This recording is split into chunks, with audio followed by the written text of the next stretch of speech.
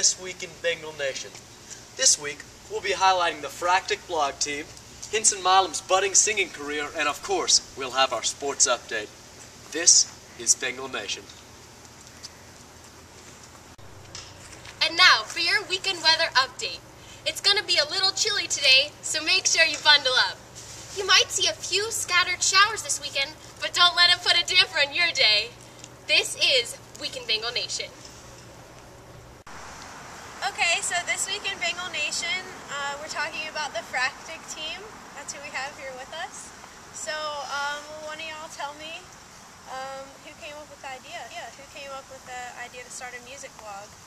Well, it started out in, September when I was sending out uh, songs over email, but we moved away from that and me and Adia started a blog on Blogspot for electronic music.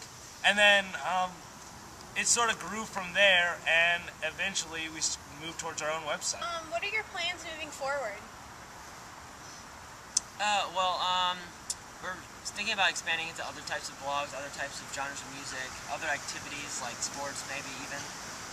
Um, getting concert tickets sold on the website, like, we're just, it's gonna be all out. We're gonna try to go for an entertainment network. If students here want to like find more about find out more about you guys, uh, how can they do that? Well, um, you can follow me on my Twitter account as well because I do a lot of social networking stuff with the blog at the Brown Mama 7. And you can also check out the actual fractic.com website. That's F A R K T I K, Fractic. And you can also check out their Twitter account as well. And, us, and you can like us on Facebook. Okay. Um, one last question.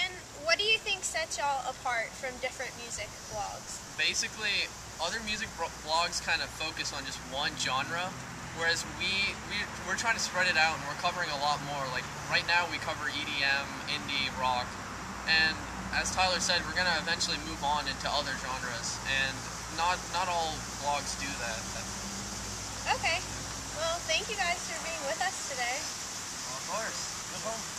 Okay, I'm here with Henson Milam, asking her about the American Idol experience. So, Henson, what, what, what is the American Idol experience? It's an attraction at Disney World, and anyone pretty much who's there at Hollywood Studios can go on audition and see if they can win and hopefully get a dream ticket to go skip all the lines in American Idol.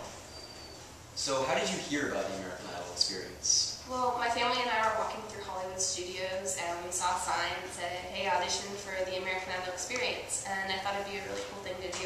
Just, you know, get myself out there and be able to sing in front of a bunch of people. Oh, so anyone can do it, I mean. Anyone. Anyone who goes into the park can audition if they want to. Fantastic. For my audition, my initial audition, I sang A Change in Me from Beauty and the Beast. And then they had a list of songs you had to choose from. So I chose Walking on Sunshine. Alright. Was that fun to sing? Yes, it's a very fun song. Thank you so much for talking